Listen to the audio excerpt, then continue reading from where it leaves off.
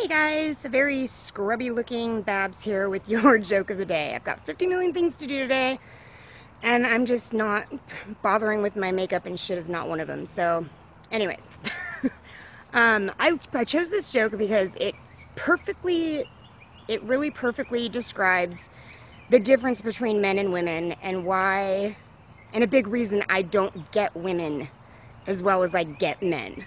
I think this joke just says it all, so I wanted to share it. All right.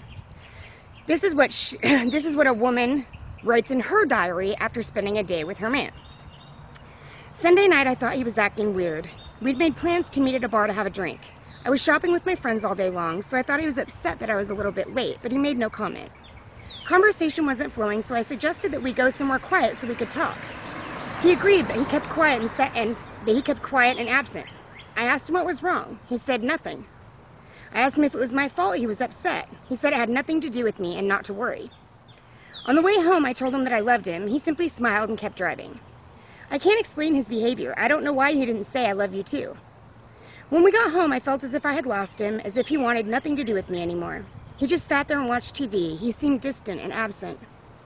Finally, I decided to go to bed. About 10 minutes later, he came to bed, and to my surprise, he responded to my caress, and we made love, but I still felt that he was distracted and his thoughts were somewhere else.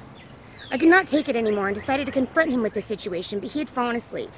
I started crying and cried until I too fell asleep.